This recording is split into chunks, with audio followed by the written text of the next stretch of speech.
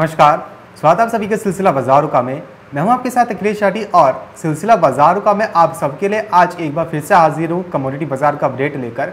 जानेंगे कि आज सुबह के कारोबारी सत्र में कम्युनिटी बाज़ार किस हिसाब से खुलता हुआ नज़र आ रहा है, किस कम्युनिटी के अंदर कितनी मंदी तेज़ी देखने को मिल रही है और उस पर एक्सपर्ट की क्या राय है, ये सब जानने की कोशिश करेंगे।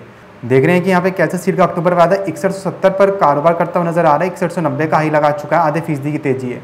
रूपा जी देख रहे हैं कि कैसे सीट का अक्टूबर वायदा फिर से बासठ के लेवल के करीब है। आपको क्या लगता है, आज इंटरडे में कैसे, में क्या लेवल्स देखने को मिल पाएँगे? देखिए, आज इंटरडे में कैस्टर्ड के अंदर बासठ सौ बीस तक ऊपर में एक बार मार्केट जा सकता है। सिक्सटी टू ट्वेंटी के ऊपर अगर निकलता है तो वापस से लंबी तेज़ी की तरफ़ जा सकता है। तो फ़िलहाल के लिए पचास से साठ रुपए की अपसाइड मोमेंटम के लिए इसमें बाइंग में रहा जा सकता है। वही नवंबर वायदा की बात करें तो पैंसठ सौ के टारगेट आपको नवंबर वायदा में जल्द ही देखने को मिल सकते हैं। ओवरऑल ट्रेंड पॉजिटिव बनता हुआ दिखाई दे रहा है। करेक्शन में बाइंग की रणनीति होनी चाहिए और जिन्होंने बाई किया हुआ वो भी फ़िलहाल छह हज़ार का अक्टूबर वायदा में एक स्टॉप लॉस फॉलो करके इसको होल्ड करके चल सकते हैं। ऊपर में पैंसठ सौ का स्तर एक्सपेक्टेड है कि हो सकता है अक्टूबर वायदा में भी देखने को मिल जाए। जी।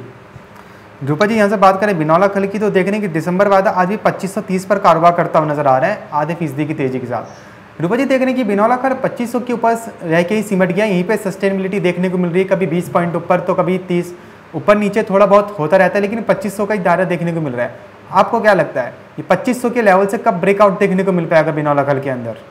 देखिए फ़िलहाल के लिए बिनोला खल जो है क्योंकि कॉटन में भी गिरावट आई है इसलिए बिनोला खल में भी ज़बरदस्त गिरावट हम्म। देखने को मिली थी और इसको अब सस्टेनेबिलिटी आती थोड़ा मुश्किल दिखाई दे रही है निचले स्तरों पर क्योंकि काफ़ी करेक्शन आ गई थी। तो यहाँ पर एक फिजिक की बाइंग जो है वो इनिशिएट होती हुई दिखाई दी थी और तभी मार्केट में थोड़ा सा सस्टेनेबिलिटी आया और 2500 के ऊपर अब बाज़ार सस्टेन होता दिखाई दिया है। लेकिन जब तक 2560 के ऊपर की सस्टेनेबिलिटी नहीं आती, तब तक इसमें तेज़ी बनती हुई दिखाई नहीं देगी। फ़िलहाल ये रेंज में रह सकता है।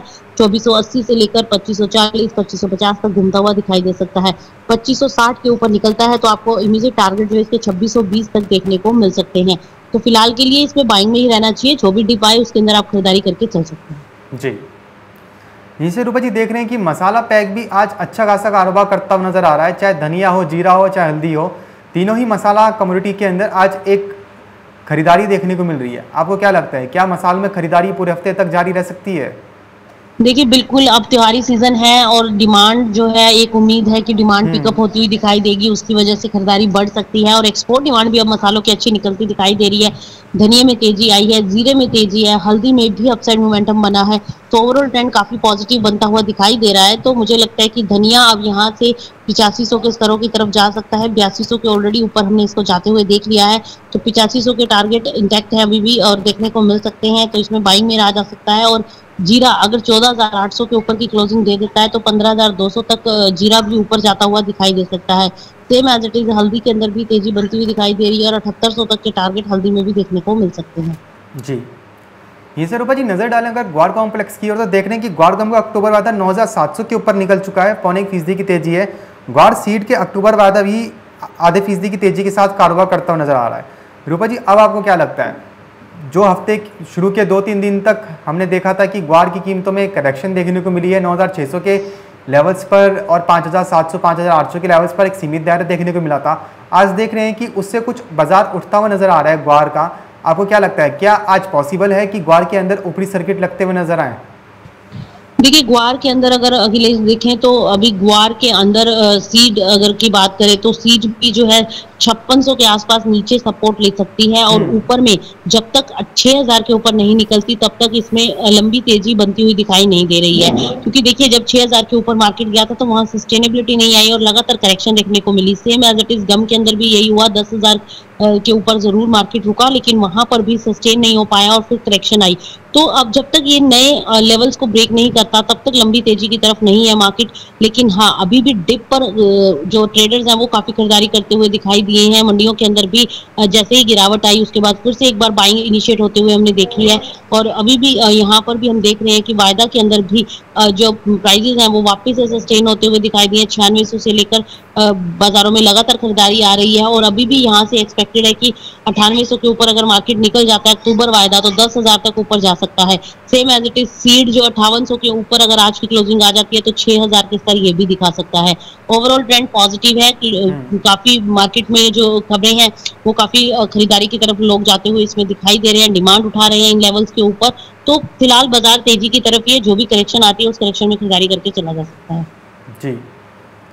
ये सर जी, बात करें अगर एडिबल ऑयल कॉम्प्लेक्स की तो देख रहे हैं कि खाद्य तेलों का बाज़ार कुछ सुस्ती के साथ कारोबार करता नज़र आ रहा है। आपको क्या लगता है? क्या इस सुस्ती के बाद एक निचले स्तर से खरीदारी भी निकलेगी?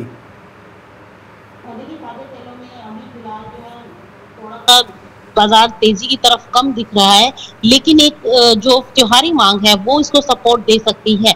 लेकिन इसका खुद का अभी बहुत ज़्यादा भी देखिए जिस तरीके से सोयाबीन के अंदर हमने गिरावट देखी और फंडामेंटल भी काफ़ी कमज़ोर हो चुके हैं तो इस बार सोइंग भी काफ़ी अच्छी खासी बताई जा रही है। वहीं कुछ एक जगहों पर फ़सलें भी खराब बताई जा रही हैं। तो हम्म। काफ़ी मिला जुला सा रुझान है। तो अभी फ़िलहाल बाज़ार जो है एक रेंज बाउंड एक्टिविटी दिखाता हुआ नज़र आ सकता है। इंस्टेड ऑफ़ सरसों अभी मेरे को लगता है कि एक बार तेज़ी की तरफ़ वापिस से जा सकती है। सरसों के अंदर नौ हज़ार का स्तर वापिस से देखने को मिल सकता है जबकि सोयाबीन और रिफाइंड सोयल में इतनी तेज़ी एक्सपेक्टेड नहीं है। छुटमुट खरीदारी देखने को मिल सकती है। तो अभी फ़िलहाल के लिए लॉन्ग टर्म पोजिशन इसमें बनाकर नहीं चलना चाहिए। शॉर्ट टर्म में जो भी स्ट्रेटेजी लगती है उस हिसाब से आप ट्रेड करें। फ़िलहाल के लिए इंट्राडे प्रोस्पेक्टिव से इसमें बाइंग करके चला जा सकता जी।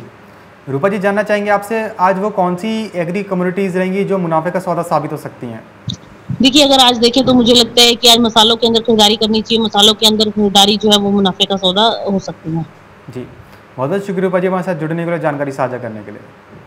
तो जैसे कि रूपा जी ने बताया कि आज आप मसालों के अंदर खरीदारी करके चल सकते हैं। मसालों की कीमतों के अंदर एक अच्छी निचले स्तर से खरीदारी निकल के सामने आ रही है, जो कि आगे अभी जारी रह सकती है। तो मसालों के लिए रूपा जी के अनुसार खरीदारी की रणनीति अपनाकर चला जा सकता है, उन्होंने जो लेवल साझा किए उनको अचीव करने के लिए। फ़िलहाल सिलसिला बाज़ार को मैं बस इतना ही, लेकिन आप कहीं जाएगा नहीं? क्योंकि खबरों का सिलसिला लगातार यूँ ही बना रहेगा मार्केट एम पर।